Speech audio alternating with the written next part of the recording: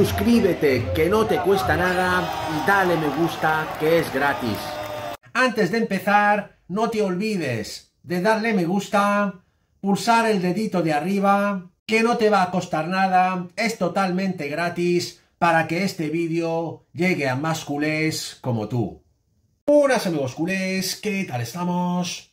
Voy a empezar este vídeo hablando de Xavi. Estoy viendo últimamente algunos comentarios de algunos fans de Xavi que me están diciendo que, que, yo odio a Xavi, que yo critico a Xavi injustamente, que por qué me meto con Xavi, te cae mal. Vamos a ver, a mí Xavi para empezar no me ha hecho absolutamente nada, ni me cae mal, ni odio a Xavi, ni nada, ni nada por el estilo. Es más, yo admiro a Xavi como futbolista. Yo empecé a ver a Xavi jugando en el Barça cuando cogía el metro para ir a entrenar. Porque todavía no tenía coche y cogía el tren y el metro para ir a entrenar con el Barça de Bangal. O sea, fijaos si yo no conozco a Xavi.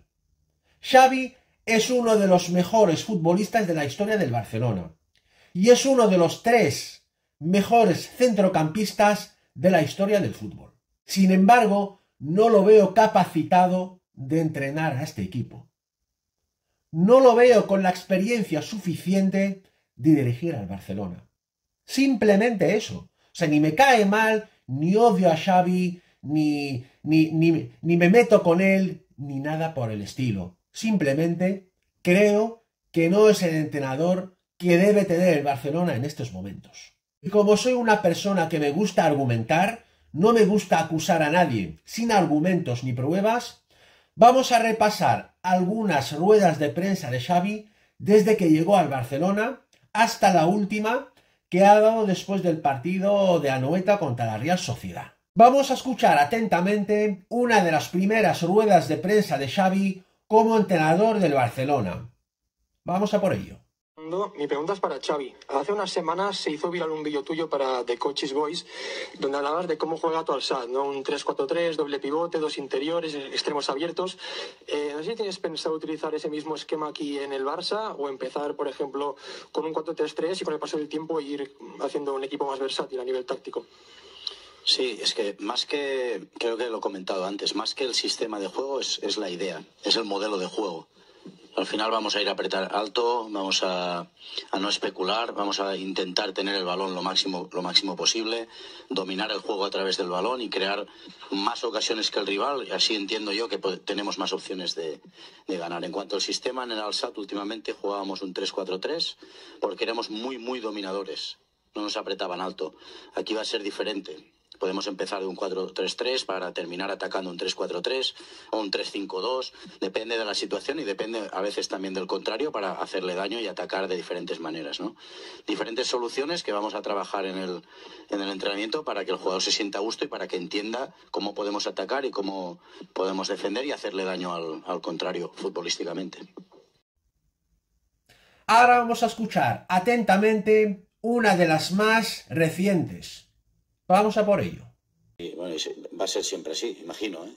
porque es nuestro ADN, nuestro ADN es, eh, ganar jugando bien, ¿no? Y sí que es verdad que no, las sensaciones no fueron buenas con balón. Sí con balón, que también es jugar bien a fútbol, eh, sí, sin balón, perdón, con balón no, no fuimos no estuvimos bien, no estuvimos finos y lo sabemos, lo hemos analizado, hemos pasado un vídeo para que el futbolista vea pues, lo que, en lo que estuvimos mal y lo que estuvimos bien. ¿no? Sin balón estuvimos espectacular, espectacular. Con balón no, con balón no estuvimos finos y por ahí las sensaciones de que haya debate fuera es normal, se entienden y estamos en el Barça, el club, el club más exigente del mundo en este sentido. ¿no? no vale ganar solo, hay que ganar jugando bien. Y ahora atentos a la última rueda de prensa de Xavi que ha dado después del partido contra la Real Sociedad. Vamos a por ello. Xavi, bona nit. Hola, bona nit. Albets, en directo para el carrusel de la serie Moguts de Ser Cataluña. ¿Crees que la rebeldía, la, la intensidad, el amor propio, esa, esa, fuerza que ha demostrado Araujo, eh, a veces le puede faltar un poco al resto del equipo? Que quizás es lo que denunciaban también después del clásico Gundogan o, o Gaby. ¿Crees que esto que ha demostrado No, de las Araujo... declaraciones de Gundogan ya no, no habléis más. Ya está, esto está, te ya dije la semana Pero pasada. centro en Araujo, ¿eh? en la figura no, no, de Araujo. Nos ha faltado intensidad a todos. La primera parte a todos, a todos. Hoy sí que hay que ser autocríticos. La semana pasada no. La semana pasada jugamos muy bien a fútbol. Pero muy bien, hoy no. Hoy sí que hay que ser autocríticos. Hoy sí. Hoy la Real ha estado mejor que nosotros. Y no pasa nada en decirlo. Han estado mejor. Han merecido más. Pero es una victoria importantísima después del clásico que nos ha afectado más, más de lo normal y más de lo que, de lo que pensábamos. Elena. Hola. Ahora, ah, sí. Eh, hola Xavi, Elena Condis, eh, tiempo de juego de la cadena COPE. Decías en la televisión que esta victoria puede suponer un cambio de chip.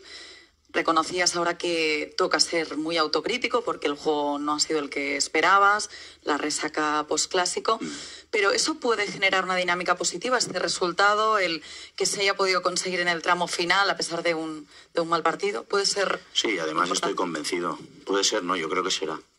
Será porque hoy es un ejemplo de lo que realmente no podemos hacer en un, en un campo, sobre todo en la primera parte. Es un ejemplo clarísimo de lo que no hay que, no hay que hacer, sobre todo en temas de, intensidad.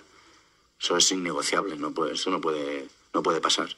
Entonces es, es espectacular ganar un partido sin estar bien, pues también es de equipo campeón.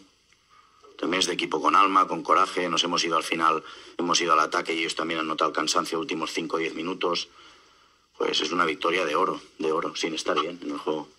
O sea, es flipante como ha quedado retratado con el paso del tiempo. Cuando vino, ha prometido lo que más vende en el Barça, que es la filosofía Barça, la filosofía de Johan Cruyff, que en paz descanse, de Pep Guardiola, dominar los partidos, el tiki-taka, ganar siendo superiores tal y cual, y ha terminado, en la última rueda de prensa, reconociendo que es de gran equipo ganar jugando mal. Se reconoce ahora mismo que es de equipo grande ganar sin merecerlo. Totalmente a la filosofía del Barça. Está reconociendo ahora mismo que está haciendo algo totalmente contrario a lo que ha prometido cuando vino a entrenar al Barcelona. ¿Entendéis ahora mismo por qué no veo a Xavi capacitado para entrenar al Barcelona? ¿Lo entendéis ahora mismo? Y ahora vamos con el temazo principal. Bombazo de última hora. Robert Lewandowski explota. Una fuente deportiva muy importante y cercana al club informa que la relación entre Lewandowski y Xavi va de mal en peor. La misma fuente asegura que el crack polaco no ve capacitado tácticamente a Xavi para ganar grandes títulos esta temporada y se siente claramente perjudicado con los pobres planteamientos de Xavi en cada partido. Y la misma fuente va a más, afirma que Robert Lewandowski en estos momentos tiene un cabreo monumental y está pensando seriamente ir a jugar a Arabia Saudí en el próximo mes de enero. Estaremos atentos a los acontecimientos. Esto ha sido todo por hoy, amigos culés. No os olvidéis suscribirse a mi canal, que no os cuesta nada, pulsar un like como siempre y dejarme comentarios para cambiar opiniones. Muchas gracias, Forza Barça por siempre, vamos a por todas y nos vemos muy pronto en mi próximo vídeo. ¡Vamos!